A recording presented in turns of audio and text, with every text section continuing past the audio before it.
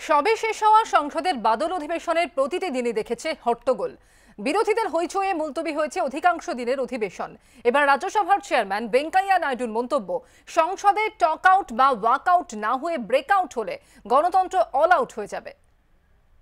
Parliament में क्या करना है दो दो ही तरीका है यू टॉक आउट और walk out no break out otherwise democracy will be all out और पार्लियामेंट में करना क्या है? तो मैं तो हमेशा कहता हूँ, अपोजिशन का काम है, सरकार का कोई गलती आए तो उसको,